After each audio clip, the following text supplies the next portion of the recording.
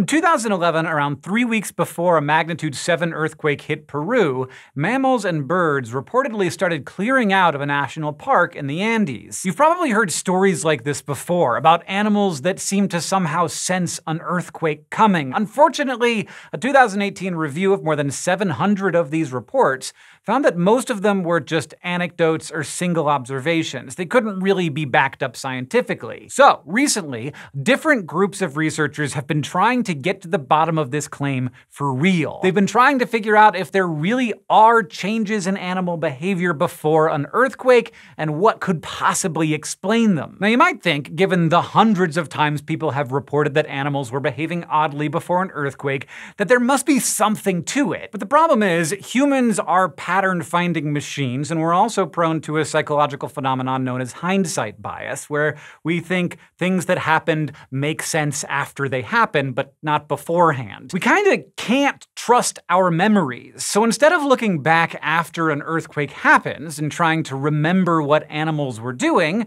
it's better to track animal behavior over a long period of time. That way, when an earthquake happens, we can use data to compare animal behavior before and after. And in a few cases, scientists have actually been able to do that. For example, in 2014, researchers at a farm in Japan tracked the amount of milk a few dozen cows were making each day, which might sound like a weird metric, but since most farm animals get milked at least once a day, it was an easy way to monitor their behavior. And the study found that on average, cows produced less milk in the three weeks before an earthquake. Authors could not explain why that was happening, but it wasn't the only study that measured a change in the behavior of farm animals before a quake. A couple years later in Italy, researchers in a separate study mounted accelerometers on a farm's cows, sheep, and dogs to track their movements over a few months between 2016 and 2017. They basically put Fitbits on them. And the data showed that about five hours before a quake hit, the animals' activity patterns did change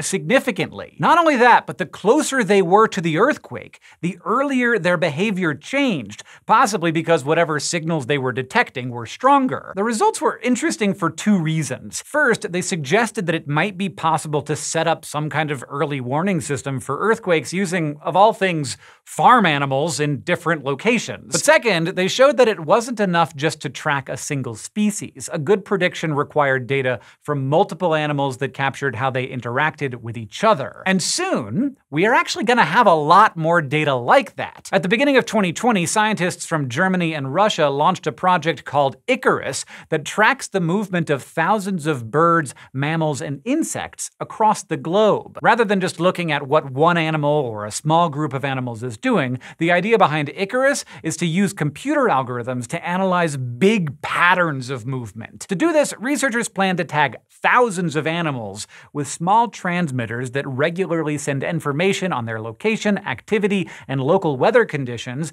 to an antenna mounted on the International Space Station. It is an enormous project. And right now, it's still in its test phase, but the goal is that by the end of 2020, researchers will be able to start gathering data and seeing how well it can be used to predict earthquakes and other natural events like volcanic eruptions. All these findings are pretty exciting, and recent advances in things like artificial intelligence and satellite technology have made these sorts of studies easier. But despite all of the evidence that at least some animals may be able to sense earthquakes well before they happen, we still don't know how they're doing it. Some scientists hypothesize that animals might be sensing vibrations in the Earth from movements in the crust right before a quake, but there's no strong evidence for that. However, it's also possible that animals are picking up on other environmental events that are triggered by that movement in the crust. For example, the air can become electrically charged as the squeezing and shifting of the Earth break chemical bonds in minerals,